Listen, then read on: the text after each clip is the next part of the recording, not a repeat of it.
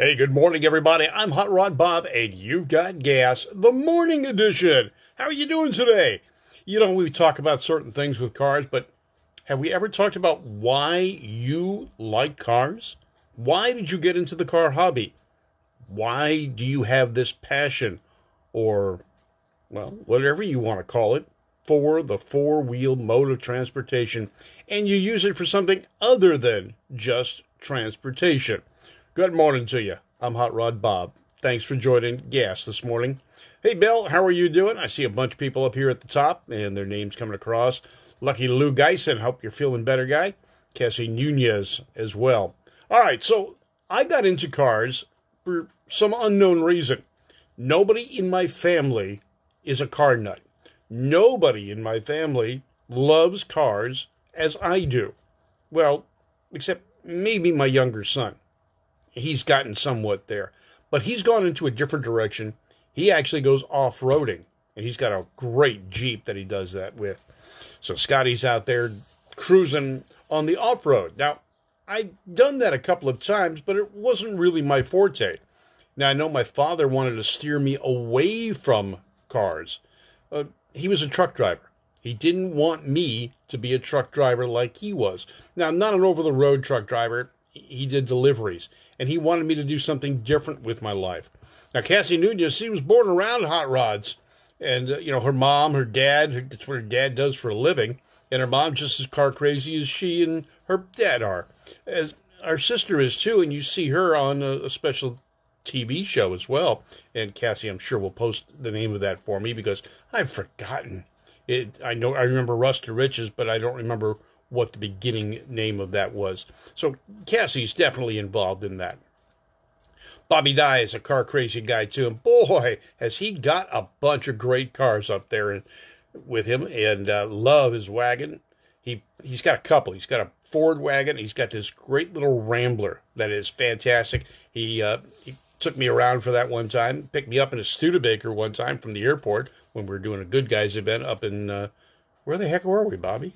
I don't remember. We've been so many places together with the good guys and such. Danny Santos is watching, and his family got him involved. Cassie Nunez, Car Masters, Rust to Riches on Netflix is where Cassie Nunez's sister can be seen, and she is the the female host of the show. And it's a great show. Got to watch it when you get a chance. Jason Hill, Jill, and Danny Sanders. Danny definitely got it from his parents. Both his mom and dad were award winning drag racers. And he's definitely uh, part of that. Chuck Knoll, he's a car guy too. And also motorcycles. He likes two wheels. I did too. And I really do like motorcycles. I just don't feel the need to ride one any longer. You need to watch the Mustang episode uh, for on Netflix. Okay, we will do that. Neil Panks, how are you doing over there in the UK? Neil gave me some bad news this morning. Actually, we, I kind of already know knew that Dragstalgia, the biggest nostalgia drag racing event in the United Kingdom, has been canceled because of the uh, COVID 19 issues. So, Neil, sorry I'm not going to get over there to see you again this time. Uh, maybe next year. We'll see what happens, and you never know. We may get together for uh, the Hall of Fame again. Who knows? Tom Jantz watching us too. Tom, another car crazy guy from the Road Kings Car Club in Burbank. The Road Kings Car Club started out in 1952 and was a group of guys that were dedicated to drag racing. And uh, they are still going strong with over 100 members today. Well, good morning to you guys. And, uh, oh, and Lou Geison's out in the desert drying out. Yeah, well, too bad for the wife. You're really going to be bugging her, aren't you? Richard Turner's here. His family tells the words of they were Buick. The first words from your mouth were Buick. All right, that's cool. Hot August Nights canceled now. Initially, they said it was going to go on again, and then they said it's off again, and then same thing with Woodward Dream Cruise, and now that's canceled again. But what made you go into cars? Now, for me, I just had a love of things. Don't know why. My neighbor across the street, I've said, was uh, into sports cars. When he came back in the service from Europe, he brought back with him a Sportster or Speedster, a Porsche Speedster, and I thought that was great. Uh, my cousin had a Triumph TR3. That was their first ride in a sports car, and it led me to buy a TR3 when I was old enough and uh, could afford one. And I did, and I had four of them. I've had old cars. I've had cars featured in magazines. Lucky. I mean, I feel really blessed and lucky because some of the things I've done in the car industry or hobby have been noticed. Uh, my car was a centerfold in a book called Nifty 50 Fords, a book about Fords of the 50s. My 1951 Ford, prominent right there in the middle, a two page centerfold spread. Yeah, I can say I was a centerfold. Well, my car was anyway. I've been in other magazines too, from the Peterson Publishing Company, complete book of Fords a couple of times, complete book of engine swaps, and I did a a V8 swap into an early Ford Econoline van. Uh, also paint. Bill Carter did the pinstriping and styling of my van. It ended up in a book by Peterson, complete book of paint and bodywork. I've had other cars in magazines, and I've been lucky enough to be able to be a writer for a number of magazines, from the Good Guys Good Times Gazette to uh, Old School Rods, and now Rodding USA. And I'm just loving it. I'm living the dream. I'm part of the hobby and love it. I've also worked on the OEM side. I worked for the factories. I worked for uh, for BMW, Nissan, GM, Isuzu. I've been part of this industry in from the hobbyist side to the professional side as long as I can remember. My first job in the auto industry, like many guys, I was pumping gas at a gas station and uh, learned a lot there. Uh, learned a lot about working on cars. Went to school, learned all I could in high school about working on cars. Went to uh, took auto shop, metal shop, electrical shop. Look at took them all, machine shop even. I became uh, basically enough to to go in as a entry level machinist. But that's that. That's the past. Hello, Tom. And Lou's recuperating. Well, you're doing good. You're you're not rehabbing. You're recuperating. Yes, I understand. I I, I know that. I know that, and I know you're recuperating. I'm glad. Ron Freeze, how are you doing this morning? You doing all right? Good. But the car hobby has uh, led me to make a lot of friends. Neil Panks, who's watching us right now in Great Britain, uh, I've made friends all over the world. We'll see Raphael here from Italy in just a moment. We've had people from Bahrain, from Spain, and uh, I get to do a, sh- a, a, chat show with a car- club called the Gentlemen's Driving Club out of Mallorca, Spain, and we do that on Mondays. So it's uh, it's led me to meet so many varied people and some of my heroes as well. The people that made the history, a lot of them I've gotten to meet. Ed the Ace McCulloch, Steve Gibbs, Don Garlits, Bob Muravez, aka Floyd Lippencott Jr., Richard Petty. Met him when I was working for Stock Car Magazine back in the 70s, and we were covering the opening race at Riverside, Cale Yarborough, uh, Petty, and a whole bunch of guys. I've been able to meet some of them here working at Irwindale. Billy Gibbons, rock star, got a cool bunch of cars. Got to meet him at Irwindale. The guys from uh, Wheeler Dealers, both of them, all three of them actually, and the staff. We we've been in their studio. Uh, it, it's just, it's been amazing for me to live the life I have, loving cars and making it not only my hobby, my job, but my life. And uh, people like Cassie, same way. She's met a whole lot of people, and she raises money because of that with her charity car shows. And unfortunately, they're not going on anymore uh, this year. Uh, so we'll see if that all picks up next year. Jack French, how are you doing? And Robert, how are you this morning? So we've got lots of things to do with cars. I'm going on car cruises again. We're actually driving our cars. Now, we can't park, so to speak. You have to maintain your social distancing. So we do car cruises. We actually drive our cars. Now, this is more reminiscent of what I did when I was into the vans. We would go on cruises, whole lineup of vans. Lead guy had a CB, someone in the middle. Well, we all had CBs, and then there was someone in the back, and we made sure we all step uh, stayed together. Hi, Kyle. How are you doing today? Kyle is watching us. Ballinger. We went on cruises. We'd end up at a park. We'd end up at the beach. We'd end up all over the place. All right, Bobby Dye says, I wallpapered my entire bedroom when I was 10 years old with Life magazine car ads from the 30s and the 50s and drooled over them. The neighbors' hot rods early, the neighbors' hot rods early on. All right, model car car shows. Yes, and through model cars, I met Tommy Ivo, TV Tommy Ivo. I was 11 years old, and I built a model car for a car show at the local hobby shop, and he was the judge. That was cool. And it was probably one of the few times that Tommy had people actually looking up to him physically. Uh, that's a joke. Never mind. Uh, Tommy's a cool guy, and I see him here in Burbank all the time. Uh, Cassie Nunez says, You're going to the cruise and see me on Saturday. No, I'm not. sorry, Cassie. I'm going to be uh, doing something else this weekend. Uh, it's going to be a car event. Well, kind of. It's a car cruise, kind of, but it, it's not a organized type cruise. We're actually going to going to visit some some relatives, so we're driving a bit. We're going to be driving a lot. We're getting plans though together for Bonneville this year. Apparently, Bonneville is still on. Now, for those of you noticing, I got my Irwindale shirt on. Hi, Peg. How are you doing? Irwindale just announced they are doing track rentals seven days a week. You can get in there. $2,500 rents the track. You can have as much fun as you want. Get a bunch of guys together. Talk to Steve Sherman here on Facebook. Get in touch with him. Get in touch with the track directly. They're doing track rentals. Can't have spectators yet.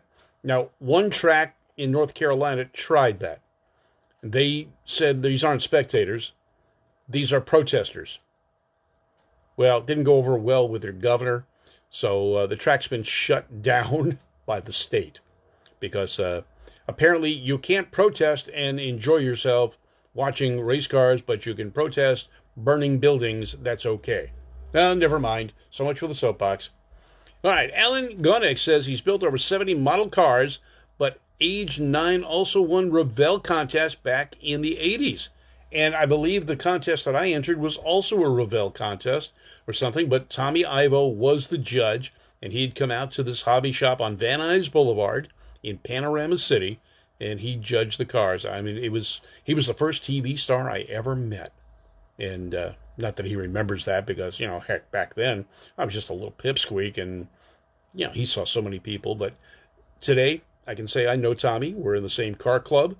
Uh, lived around the corner from him for a while in beautiful downtown Burbank. And it was great to see his transporter out in front the year he retired from racing. And it sat there, and I took my kid over to see it, and it was cool. But I love cars. I love all things about cars. Now, I'm not necessarily the best hands on guy. I can work on my cars. I know I have the knowledge to work on my cars. I don't necessarily have the motivation any longer. There were times that I could spend mm-hmm. all day working on a car. Now, the other day I was working on the 57, uh, put new carpeting in, put a whole new carpeting kit in. I've got the stuff to finish it up sometime this week, uh, putting in Crow racing style seat belts. Uh, got to put the seat back in, kind of cleaned up the sill plates, got the carpeting in place got the seatbelt mounts in place, got to tighten them up a little bit, put the seat back in, and hey, it'll have carpeting for the first time in probably 10 years. My son uh, had this 57 Ford as his daily driver when he was in high school. He was the cool kid on the block. And now I've got the car and we're going through it. We're getting it back back up and in shape. Uh, it's it's been good. VHS Valley Head Service did the motor and it purrs. He, my son had the transmission rebuilt. It's cool and it is just a nice cruiser. So we're going to get that thing going, and uh, we got a cruise coming up Father's Day weekend here in Oxnard, California, and we're probably going to take the 57 out and, and cruise it that night. You never know what what you'll see out there. So if you want, come on out, Saviers Boulevard, starting at about 5 p.m. on June 21st. All right, lots of car stuff going on. Alan's still building those model cars. Let's see. Again, it's not scrolling, so I'm not seeing your uh, stuff. Every car guy's obsession starts with 99 cent Hot Wheels. Mm, not necessarily, Cassie. They weren't around yet. But I did have Matchbox cars. They predated Hot Wheels. Jerry Weedle, how are you doing? or Weddle. Joey, how are you doing? Alan, met Jack Davis, hooker headers through model cars. Jerry Burwell builds some great cars at his shop down in Whittier. Danny Sanders, his dad got him involved with pedal cars. Yeah.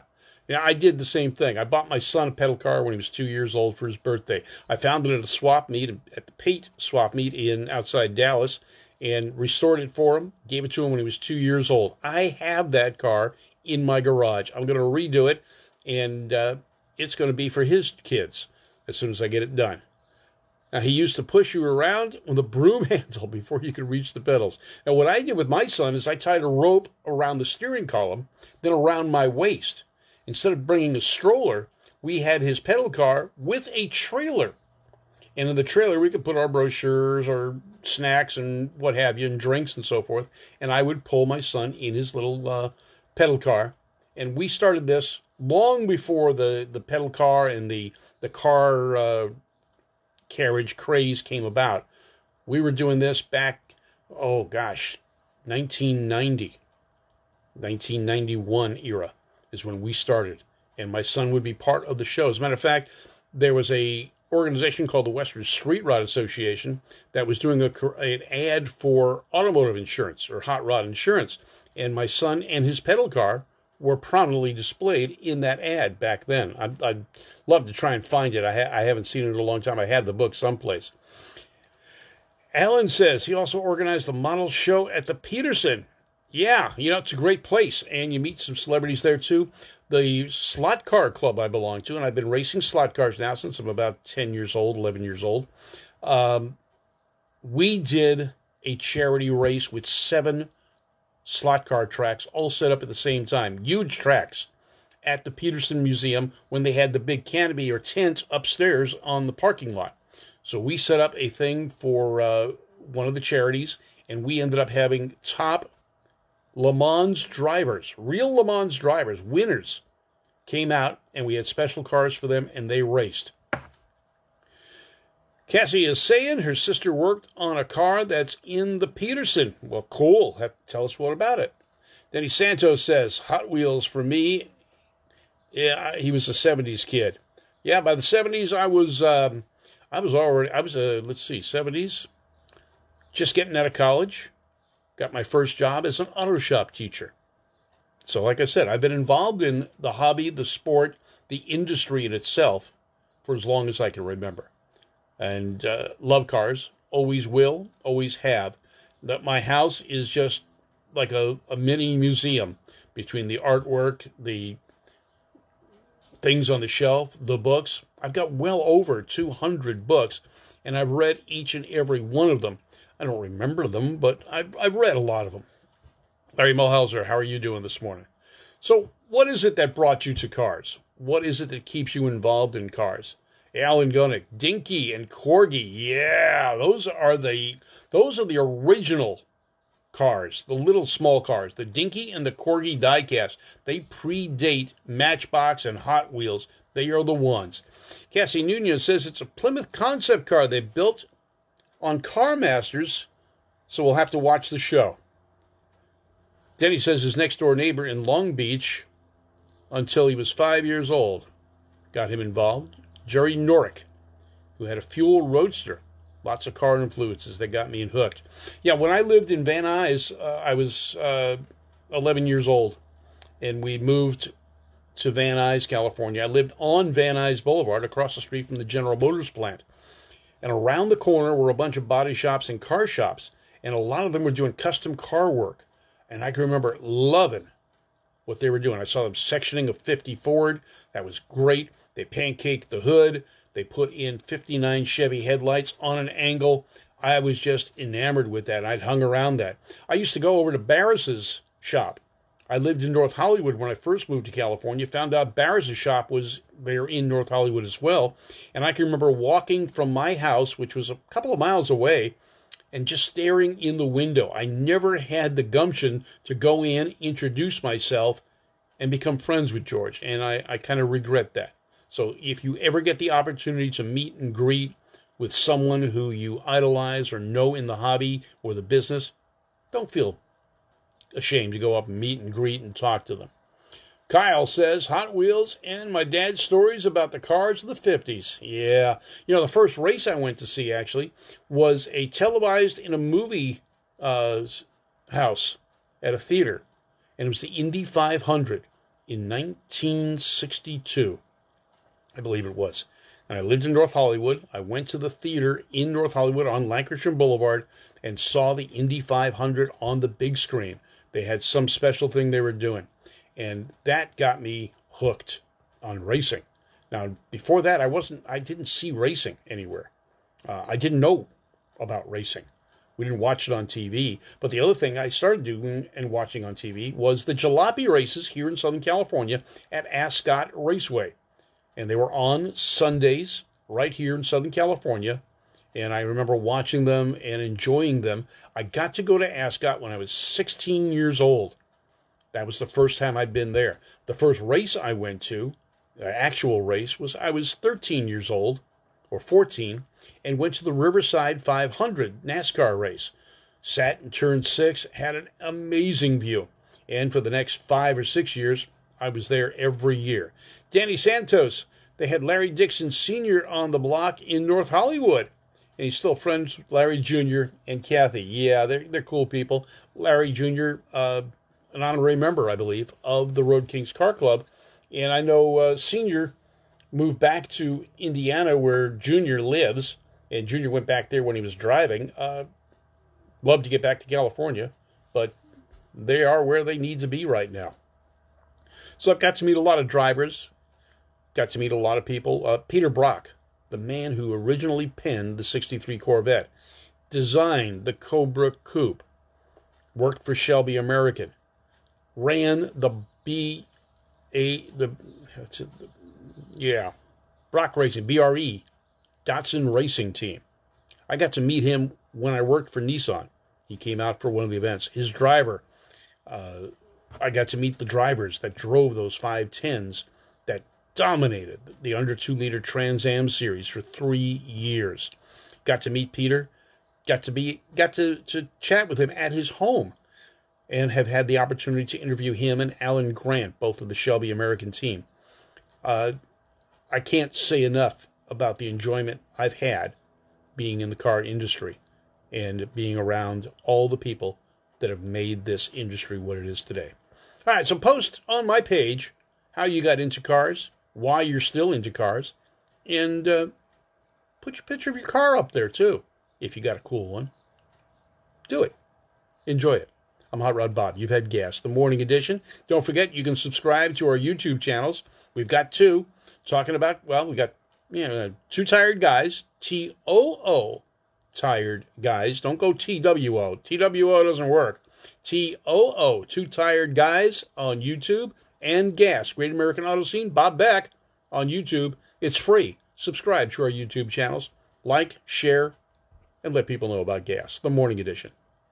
Take care. And I'll try and be back next Tuesday night for an evening edition, a full hour long, and we'll try and get some uh, good guests on. Alan Godick says he was a flagman on the Riverside when it was 16 or 17 years old, and you flag the IROC Porsche series. Oh, that's great. That's that's the thing to do. All right, guys, you have a great day. I'm Hot Rod Bob. You've got gas. Brought to you by Beach Underwriting, Moon Eyes, Irwindale Speedway, Irwindale Drag Strip, and Service Tech. Thanks for tuning in. You have a great day. I'm Hot Rod Bob, and you have gas. Uh, you, you got gas. You had gas. Oh, you're a gasaholic. Take care now.